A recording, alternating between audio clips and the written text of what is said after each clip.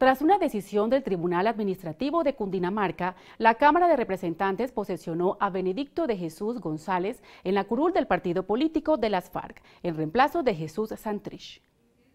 Benedicto González fue dirigente sindical de los servidores públicos en la alcaldía de Barranquilla del año 1998 al 2000 y luego ingresó a la lucha armada dentro de la guerrilla de las FARC. Ahora, tras el acuerdo de paz y con el fallo de segunda instancia del Tribunal de Cundinamarca, llega a ocupar la curul de Jesús Santrich en la Cámara de Representantes. La expectativa fundamental que tenemos es la de abrazar y apoyar todos esos proyectos que están pendientes y que quedaron pendientes de la etapa del fast track y eh, que necesita para su implementación el acuerdo.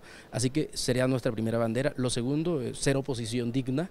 Eso significa que proyectos de ley que son un insulto para los colombianos, como por ejemplo la ley de financiamiento, como por ejemplo la reforma pensional, votaremos negativamente. Pero también seremos propositivos y seremos positivos frente a otras alternativas y a iniciativas, por ejemplo, eh, algunos proyectos que tienen que ver con el bienestar de la familia colombiana.